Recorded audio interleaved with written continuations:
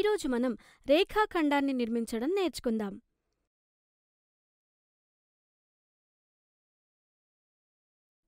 రెండు బిందువులను కలిపే నిలువు మార్గాన్ని రేఖాఖండం అనగా లైన్ సెగ్మెంట్ అంటారని మీకు తెలుసు. ఉదాహరణకి ఇక్కడ మనం బిందువు ఏ మరియు బిందువు బీలని కలిపి ఒక రేఖాఖండాన్ని గీశాము దీని పేరు మనం ఈ విధంగా రాస్తాం. మరియు రేఖాఖండం ఏబి అని చదువుతాం. ఎందుకంటే రేఖాఖండం ఒక స్థిర బిందువు నుండి ప్రారంభమై రెండవ స్థిర బిందువు వద్ద అంతమవుతుంది. కాబట్టి దీని పొడవు స్థిరంగా ఉంటుంది.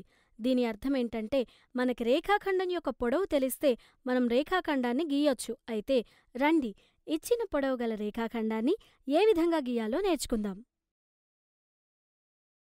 మనం ఆరు పాయింట్ రెండు సెంటీమీటర్ల పొడవు గల రేఖాఖండాన్ని గీయాలి అనుకుందాం.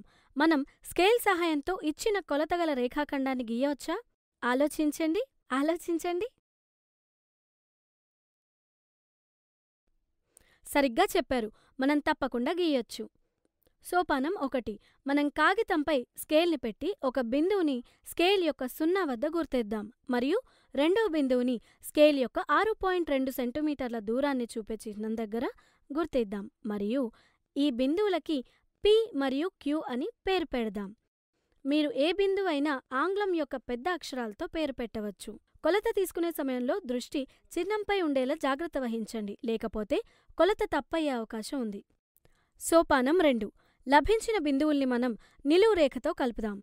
దీంతో మనకి రేఖాఖండం పీక్యూ లభిస్తుంది. రేఖాఖండం నిర్మించడానికి మన దగ్గర మరొక మంచి పద్ధతి ఉంది.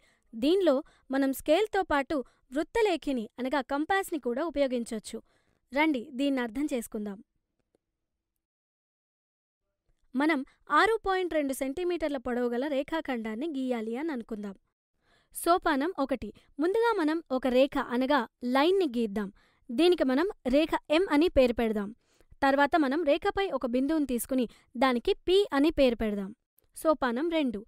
ఇప్పుడు మనం వృత్తలేఖిని యొక్క పదునైన చివరిని సున్నాపై పెట్టి పెన్సిల్ ఉన్న చివర ఆరు పాయింట్ రెండు సెంటీమీటర్ల చిహ్నంపై వచ్చేలా దీన్ని తెరుద్దాం. సోపానం మూడు.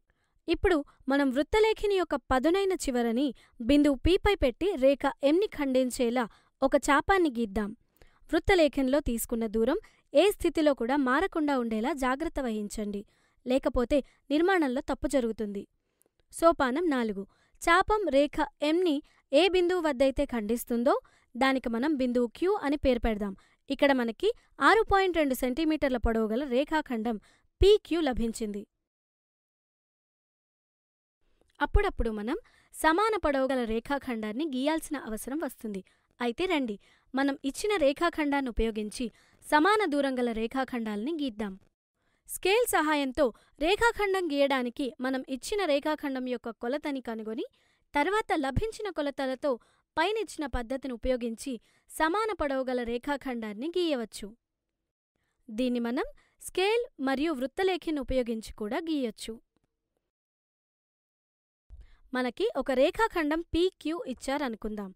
మనం దీనికి సమాన పొడవుగల రేఖాఖండాన్ని గీయాలి. సోపానం ఒకటి. మనం వృత్తలేఖిని యొక్క పదునైన చివరని బిందువు పీపై పెట్టి వృత్తలేఖిని తెరుస్తూ పెన్సిల్ ఉన్న చివర్ని క్యూపై పెడదాం. అంటే మనం రేఖాఖండం పీక్యూకి సమాన దూరాన్ని వృత్తలేఖింతో తీసుకుందాం. సోపానం రెండు. తర్వాత మనం ఒక రేఖని గీసి దీనికి ఎం అని పేరు పెడదాం. సోపానం మూడు. రేఖ ఎంపై మనం ఒక బిందువుని తీసుకుని దీనికి ఆర్ అని పేరు పెడదాం. మనం వృత్తలేఖిని యొక్క పదునైన చివరిని బిందువు ఆర్పై పెట్టి వృత్తలేఖిని వెడల్పుని మార్చకుండా రేఖ ఎంని ఖండిస్తూ ఒక చాపాన్ని గీద్దాం. సోపానం నాలుగు. చాపం రేఖ ఎంని ఏ బిందువు వద్దైతే ఖండిస్తుందో దాన్ని మనం బిందువు ఎస్ అని పేరు పెడదాం. ఇక్కడ మనకి రేఖాఖండం ఆర్ఎస్ లభించింది. దీని పొడవు రేఖాఖండం పీక్యూకి సమానంగా ఉంటుంది. ఇప్పుడు మీకు రేఖాఖండం ఎలా గీయాలో అర్థమయ్యే ఉంటుంది.